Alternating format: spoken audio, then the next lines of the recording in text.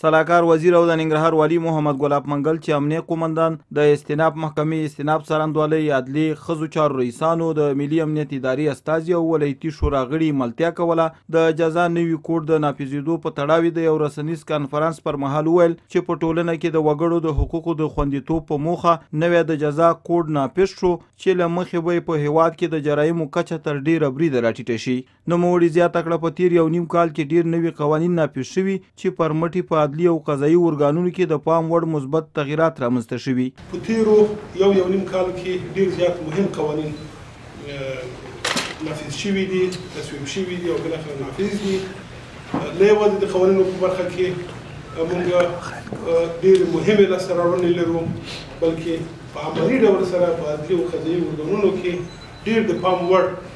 مثبت بدلون راغلی دی او بالاخره د دغسې قوانینو په تصویب او انفاذ سره انشاءالله هغه ابهامات یا هغه خلاوې چې د اجراتو په برخه کې زموږ د عدلي ارګانونو او د قضایي ارګانونو سره موجودې وي یا زموږ د امنیتي او د کشفي ارګانونو په مخ کې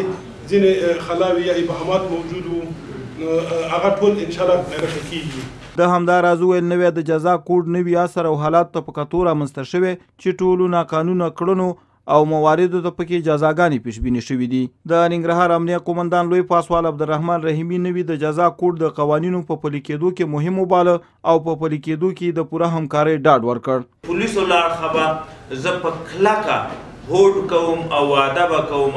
چې د دې د قانون د انفاذ سره به په ټول توان سره هلې ځلې کوو تر څو چې هغه نیمګړتیاوې وي هغه هم پوره شي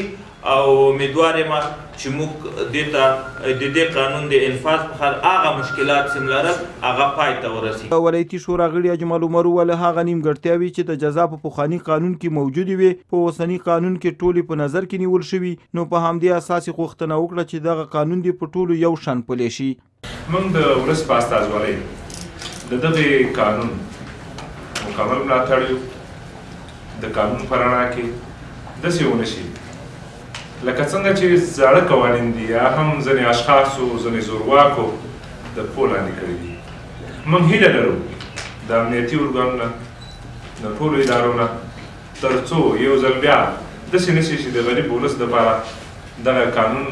عملي شي. د استیناف څارندوالۍ رئیس احمد خالد اوریا وویل، پخوانی د جزا قانون یو څلوېښت کاله وړاندې د سردار محمد داود خان د واکمنۍ پر مهال نافذ شوی و چې په خبره یې اوسني عصر او حالاتو ته په کتو پکې نیمګړتیاوې موجودې وې. د افغانستان د جزا قانون په سطح د منطقه کې د یو بهترینو جزایي قوانینو نه شمیرل کېده متاسفانه د هیواد د اوسني حالات سره یې ډېر سمون نه درلوده ځکه په جریان د یو څلوېښت کلو کې په هیواد کې سیاسي اجتماعي فرهنګي او اقتصادي وضعیت کې ډېر بدلون راغلی او په همدې موده کې د جزا په قانون کې ډېر تعدیلونه او ځینې زمایم هم پکې اضافه سول ترڅنګ یې پنځلس ارګانیک قوانین او حدودا پنځوس نور قوانین څه هغې کې جزايي احکام پیشبیني شوي ول هم منځ ته راغله. نوموړي زیاته کړه، د جزا نوي کوډ په رامنځته کېدو سره دري دېرش تقنیني سندونه او حکمونه لغوه شول. د ننګرهار استیناف محکمې رئیس عبدالولي قاضي زاده د سلواغې په پنځه ویشت مه د ولایت مقام په رسنیو دفتر کې د جوړ شوي کانفرانس پر مهال د جزا نوي کوډ د یو شمېر مادو د تشریح کولو ترڅنګ زیاته کړه، د جزا نوی کوډ په شپاړسو بابونو، نهه سوه او شپاړسو مادو، یو سلو یولسو فصلونو او په دوه کتابونو کې د پخواني قانون سره په خورا توپیر چاپ شوی. دې قانون په دې نوي جزا کود کې هغه خاص موردونه چې اضافه شوي د نسل وژنې جرایم، سایبري جرایم، جنګي جرایم، انتخاباتي جرایم، تشکیلاتي تشکیلات او خیالي مقررۍ،